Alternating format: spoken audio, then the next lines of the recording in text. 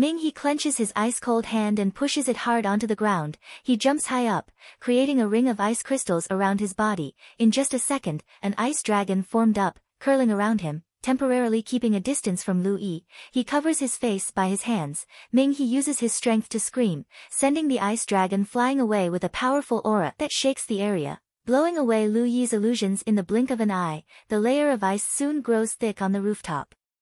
His trike's aftershock sends Lu Yi flying back, Lu Qian screams loudly but cannot do anything, Ming He still firmly reminds Lu Yi, if you want me to believe in you, please don't come any closer, the thick layer of ice created a barrier between them, temporarily, Lu Yi cannot comes close to Ming He, but he's still talking, you still have feelings of comradeship for your Wulong comrades, that's why you're suspecting me, but do you know believe in Professor Wulong either, he glances at Wulong.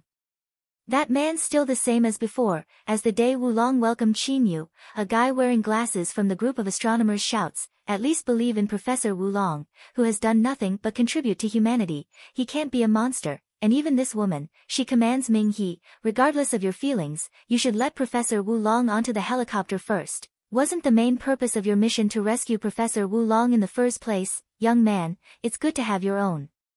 judgment, but the situation is quite urgent, I need to take these important notes on these calamity beasts and leave, otherwise, how will humanity manage to move on from this? Moreover, this woman is completely obsessed with Professor Wulong so she fully trusted him, she screams, Professor Wulong put in so much effort for humanity, there's no way he's a part of those monsters that hide themselves within the astronomy team. Not stopping there, Lu Qian and Lu Yi, each of them screams at Ming.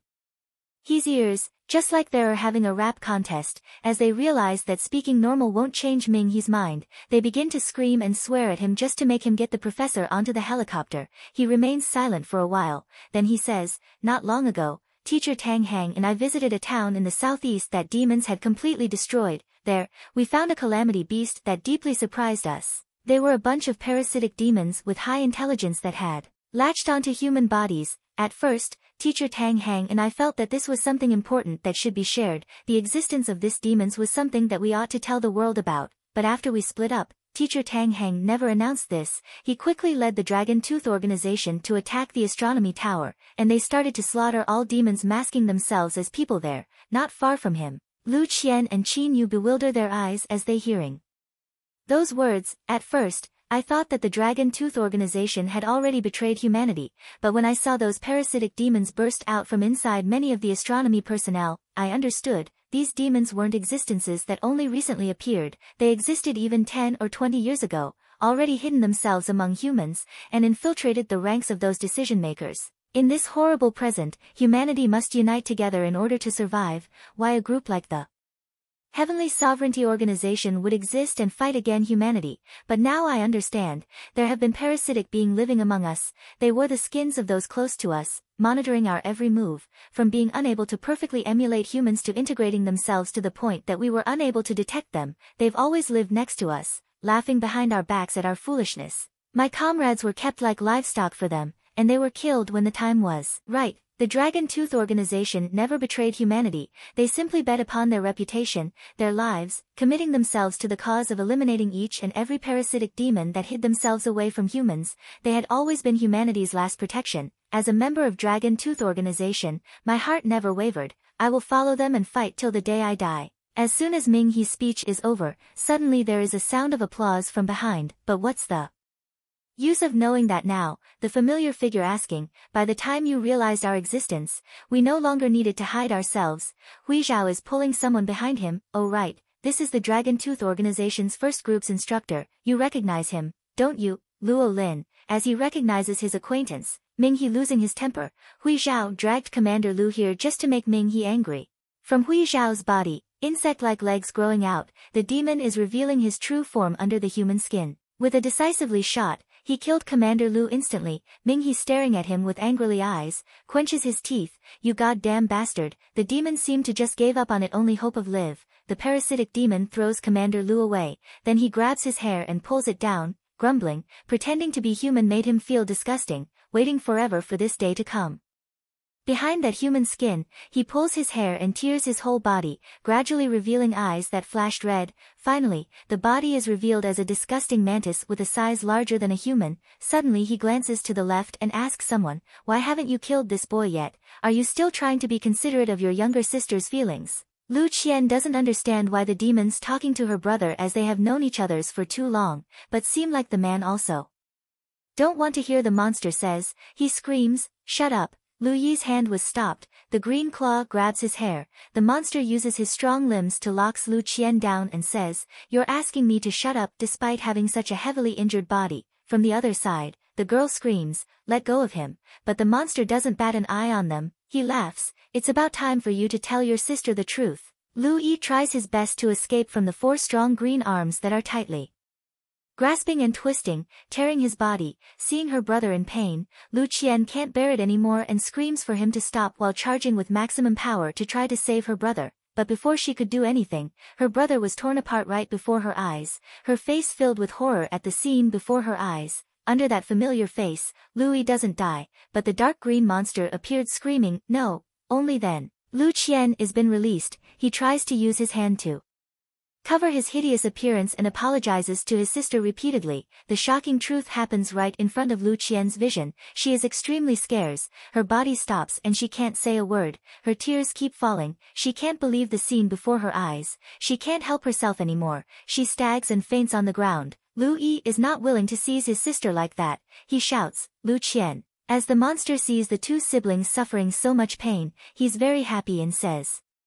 Hee hee don't worry about it, senior, superior species like us do also take in pets, you're a huge contributor to the success of our clan, there's no reason why our master wouldn't allow you to keep this human girl as your pet. Lu Yi suddenly spins around and shouts at the guy, silencing him with fiery eyes, shut up, well, you see, that guy, he's doing what we call brotherly love, the kind of affection Yi has for Lu Qian, that's precisely why he's always been so protective of his little sister, even in his most furious state, Lu Yi's footsteps just can't seem to make it to that guy Hui Zhao's spot. This dude casually locks Lu Yi's arms using his own, pushing him away with those hands, preventing any fists from reaching him. It seems that your memory isn't that good, senior, Hui Zhao. Enough, the familiar voices chime in, demanding these two to stop fighting. Now is not the time for us to be having conflict each other, the shadow of Wulong, standing against the light, with his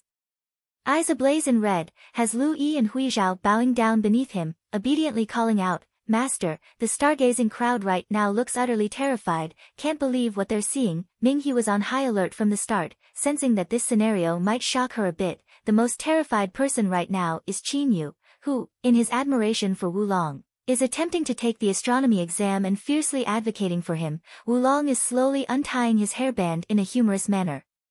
Turning back with fiery red eyes, he said, I'm sorry, I have kept all of you in the dark for so long, but I'm a parasitic demon too, though of the same species, we're not fully on board with Hui Zhao's ideas, in fact, it was an honor for me to work together with you all, no wonder he's the top doctor of humanity, Wu Long is really convincing when he says, no matter how much intelligence we obtain upon evolving, we are still animalistic at our cores, and animals will always feel the need to hunt.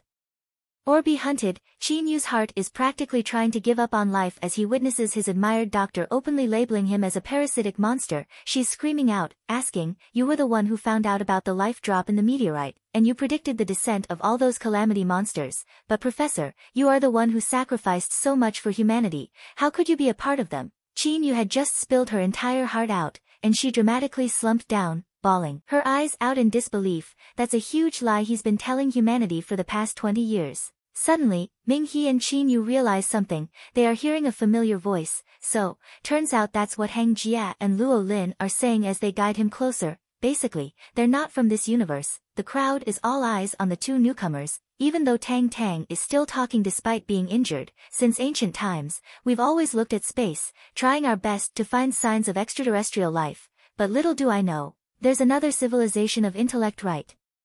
Beneath my feet, nestled within the heart of this earth, these monsters are always right here within our own earth. Tang Hang's words denied everything that humanity had known for so long, everyone who heard it is startles and remains silent for a few seconds, suddenly, a man from the astronomy team shouts loudly, Professor Tang was also a member of the astronomy team, how could you say something like this, Tang Heng points his finger to Wu Long who is standing not far away. This guy was the one who found the life drop. And said that it was the life source of the calamities. Nonsense, the life drop is actually called a wormhole stone, there are all kinds of wormhole stones like those deep beneath the earth. When two wormholes clash within each other, these stones will then be activated, and a wormhole portal will be formed between the two. There is no way two wormhole stones colliding on Earth suddenly come close to each other and cause a shock wave. Meteorites carrying wormhole stones that manage to fall on Earth are even more rare, whilst the wormhole stones deep inside the Earth's core have literally little chance of being able to be exposed to the Earth's surface, there's even less of a chance for another wormhole stone to directly clash with another wormhole stone when the meteorite falls to the Earth. Only twice has this phenomenon occurred upon Earth, the first was at the end of the Cretaceous period, when all the dinosaurs went extinct, and the other time was 40 years ago. From that point onward, humanity entered a period where calamities would frequently descend, and coming along with all kind of supernatural academy and all types of organizations to deal with these monsters, that means that before that, every single wormhole stone that they had brought had been evaluated beforehand, and a hole was dug in order to place the other wormhole stone into the pit where the meteorite would land, and so, they've managed to create one wormhole after another. And countless calamities started coming out from beneath our earth, they claim to be of a civilization beyond the stars, as a superior race from space, so that they would be able to kill all of us, and make us understand who truly owns this earth, with the smile starting from Professor Wulong, seems like he has confirmed everything is true, Qin Yu is so scared that she can't believe what she heard and saw and fell on the ground. The people of the astronomy team scratches their heads and realizes how stupid they had been all along to keep searching for outer space and forgetting what was underneath.